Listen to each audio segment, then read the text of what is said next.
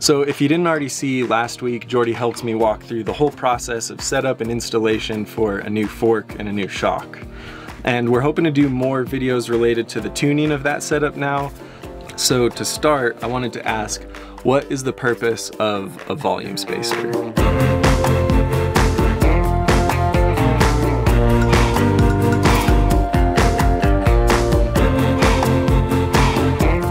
Volume spacers are they're so basic. For ease of use, we're going to use a fork just because it's it's far easier to get volume spacers in and out and kind of describe things, but they do the exact same thing in a fork and a shock. However they look, whether it's bands or clips or like a solid one that fits into the shock, they all take up room, which makes the air chamber smaller.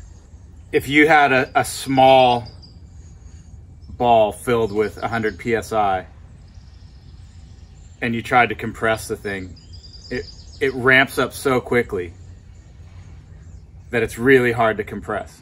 Whereas if you took a big ball and you put pressure in it, you'd get a bunch more room before it actually built up pressure. It's kind of why, like road tires, you have to run so much pressure because the volume. And then you have these giant balloon tires that you run almost no pressure in that move a whole lot. And it's it's a similar feeling when you're riding on a bike. These volume spacers would just sit on the air side. They're underneath this cap and we'll show that later. And all they're doing is changing the spring curve.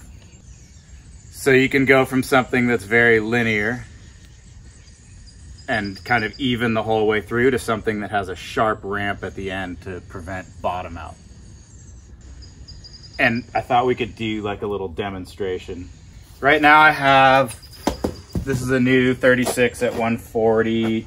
I think I have three volume spacers and 100 PSI. And uh, it might be hard in slippers, but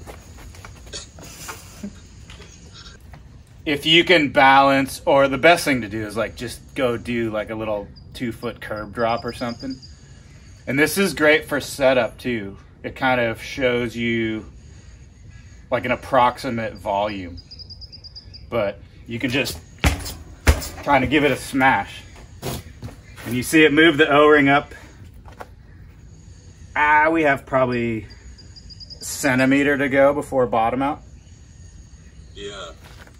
And then the most important thing when doing volume spacers is letting the air out of the fork before you unscrew the cap. Mm. you can get some pretty good explosions. So air out for hours, all of the air sides on 36, 38, and 40 are a 32 millimeter socket. So there you can see the air cap, the three volume spacers clipped in, and we'll pull those off. Good idea to keep that clean. Make sure you wipe it all off before you do any of this. You don't want any dirt falling in there. You don't want anything that can damage the little O-ring that seals. So anytime you're doing volume spacers on anything, pump some air in, give the fork a little cycle. You just want to hit that transfer port to transfer air from positive spring to negative spring. You don't want to like bounce it or do anything weird. You won't hit it. It's it's like five to 10 mil push and you can hear it and feel it. All right, so there's same pressure with zero volume spacers instead of three. Let's see. Oh, move that O-ring down. And you see now, like it's basically bottomed. So that's what volume spacers do. Hmm.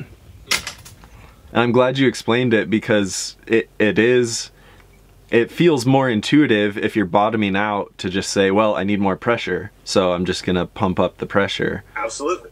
And that's, that's why you constantly keep going in these circles of pressure, volume, sag, or sag, or pressure sag volume, whatever it is. But like you have to keep revisiting it. you can't just set pressure, you bottom out and you go, oh, I'm adding volume spacers. Well, then what's your sag now? Because that changes everything. So just remember to keep doing these circles. And I know it takes some time, but you do it a few times and it turns into second nature. You just know, I set my sag, I'm still bottoming out, I'm gonna change volume. Check my sag again, make sure it's the same pressure or what pressure I need. Still bottoming out, add another one. And shocks, shocks are exactly the same as forks. So again, um, gently, gently let the air out. I usually do this on the bike because sometimes you'll let the air out and the shock will stick down because it hasn't let the air out evenly from positive and negative. And if it's on the bike, you can kind of give it a yank or push it down or whatever to get the air to transfer and then let all the air out. It's not the end of the world.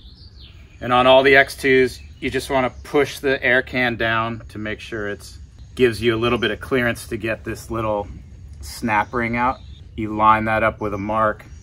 Usually you can use a fingernail and just kind of pop it out of its seat. And then you just kind of walk it out.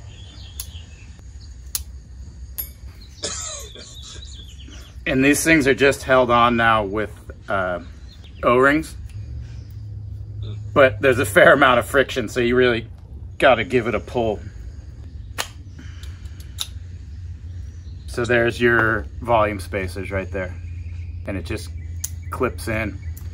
The nice thing about these is on certain bikes, since they're two pieces, you can put them in without having to take the shock out of the bike. You know, you just let the air out, slide the can down a little bit and pop in a band. And then these are your sealing O-rings. This is outer sleeve with the air valve. You just line those little dots back up and slide it on.